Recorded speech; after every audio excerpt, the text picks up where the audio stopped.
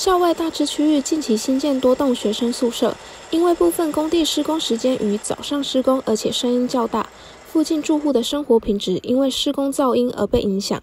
他们都会很早就开始施工，然后我可能就会起，就会变得超级早就起床了，然后我就会觉得睡不着，睡不好。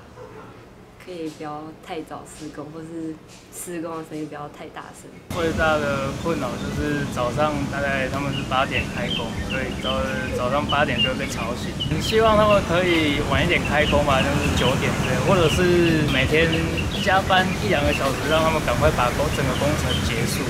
因为如果要要求他们工程之中音量不要太大，我觉得有点困难，有点。音量这种部分是没有办法，可是可能时段可以改进一下。位于三星路上的学生宿舍于暑假期间开始进行全面翻修，近期早上八点就开始施工，引发附近住户的不满。营建工人对此表示无奈，因为他们必须于期限内完工。因为我们是打墙壁的，就是打实的，对不对？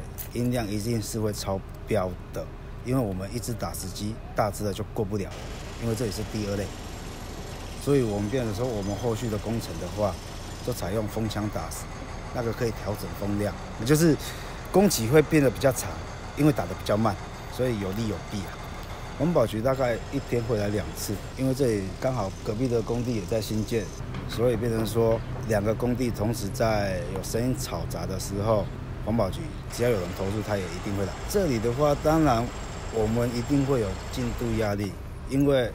这个地方是属于一个学区，当然我们工程做越快越好，才不会影响到学生的生活跟作息时间。由于施工声过大，部分同学表示想向嘉义县环境保护局检举。然而，检举是否能成立和改善现况，受到不少同学关注。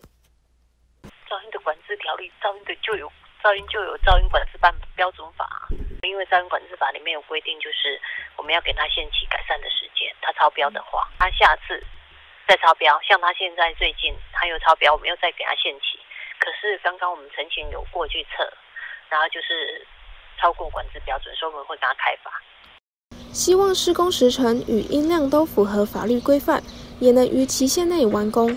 期盼学生与施工单位彼此能够互相体谅。中正一报蔡履新、周世军，中正大学报道。